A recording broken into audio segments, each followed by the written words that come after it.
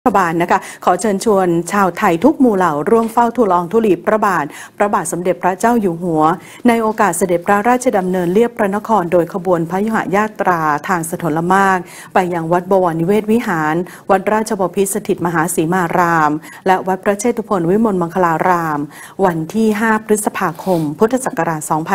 2562 และในวันที่ 6 พฤษภาคม พุทธศักราช 2562 ในโอกาสเสด็จออกณสีหบัญชร พระที่นั่งสุดไทยสวรรค์ปราศาสตร์เพื่อให้ประชาชนได้ชื่นชมพระบารมี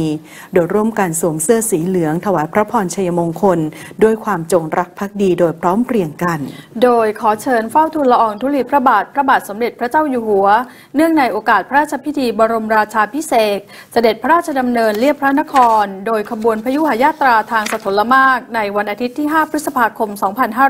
2562 เวลา 16นาฬิกา30 นาที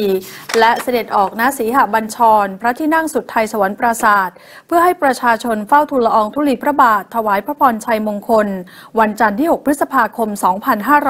2562 เวลา 16นาฬิกา30 นาที